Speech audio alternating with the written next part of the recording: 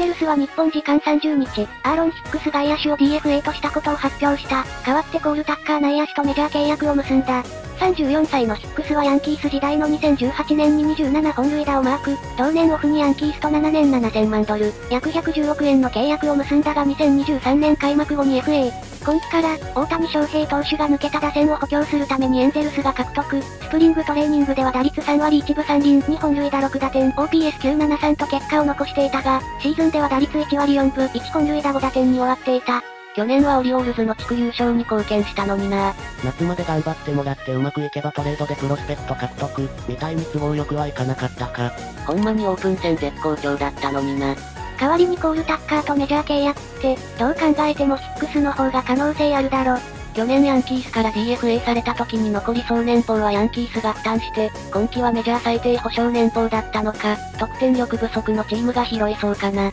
マジでしっかり補強してほしいけど、贅沢税を払いたくないモレノの財布の紐が緩むことはないか。見切り早すぎて草。困難するなら20代前半くらいまでの選手だけで組んだ方がええわ。昨年より打線は良いと思うけど投手陣は大谷がいない分終わってるな。普通ならアスレみたいに、先発3本柱とか売れる選手放出して再建するけど、高値で売れる選手すらほぼ皆無やからね。お得意の小手先の入れ替え。アデルが守備はともかく打撃の方は使える目処が立ったからか。チーム状況的に理解できなくはないけど、短期的に調子の良し悪しで入れ替えるから長続きしない。シックスだったか、スアレスかなと予想してたけど違ったわ。マジで若手主体に切り替えた方がええ？今季は奇跡が起きん限りワイルドカードすら無理。